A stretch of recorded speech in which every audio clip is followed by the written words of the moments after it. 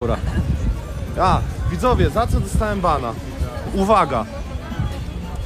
Dostałem bana, ponieważ wszedłem do Kasix na streama, wysłałem jej pixel arta Kutasa i napisałem, że się pomyliłem, że to miał być kwiatuszek i mnie zgłosili tam i dostałem bana na 3 dni za napisanie, y, wklejenie takiego siurka na czat u Kasix.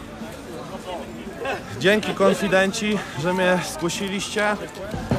Już nigdy nie napiszę nic na czacie u żadnej streamerki. E, widać, że community jest tam bardzo toksyczne, e, społeczniarskie i że makowca opierdalacie na komendzie i to tyle. Dzień dobry.